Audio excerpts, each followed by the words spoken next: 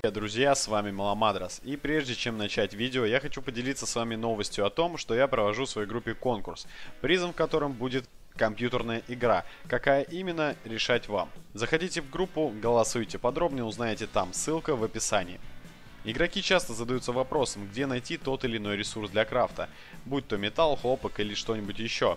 Так как игроки живут на разных стабильных островах, и нестабильные, соответственно, тоже будут разные. Так что спрашивать у незнакомцев, по сути, не имеет смысла. Даже если вы дождетесь ответа, это будет довольно долго, да и, скорее всего, некорректно.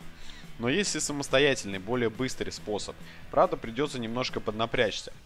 Возьмите самое быстрое ездовое животное, которое у вас есть, покормите его как следует и отправляйтесь к ближайшему источнику воды. Вставайте прямо в воду и нажимайте на значок радара, что позволит вам определить сигнал кратеров и варпхолов, причем не обязательно при этом спешиваться с животного. И, соответственно, чем больше стрелка зеленая, тем ближе к вам находится кратер. Чем он дальше, тем стрелочка меньше.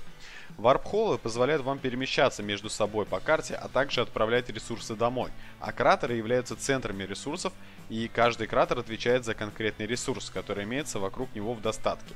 Причем в нормальном таком количестве, что целый клан может э, залутаться спокойненько. Именно кратеры-то нам с вами и нужны. Как только вы нашли один кратер, сразу идите к ближайшему водоему и ищите следующий. На животном с показателем скорости 600-700 Раптор, Смелодон, Волк, Паваминус, вы спокойно откроете 7-8 кратеров максимум за 20-30 минут и точно найдете нужный вам ресурс. Энергию при этом вы тратить не будете, а открытие кратеров и варпов дает вам баф Joy Discovery, что позволит держать шкалу усталости на значении близком к нулю. Вот и, собственно, весь лайфхак. Тем более, что когда вам понадобится другой ресурс, вы уже будете знать его расположение на конкретном острове.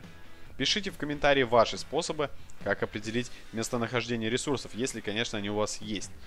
Ребята, еще одно объявление. Клан, в котором я состою, Runaway, в связи с продлением бета-тестирования до января, открывает набор игроков. Требования чуть-чуть изменились. Нам нужны теперь ребята по-прежнему активные, но от 50 левела. Приветствуются профессии ткача и повара, они нам очень нужны. Так что дерзайте, ссылку на вступление в клан я также оставляю в описании. Если видео годное, ставьте лайк, подписывайтесь на канал, жмите на колокольчик, чтобы не пропустить новые видео. С вами был Маламадрос, до скорого.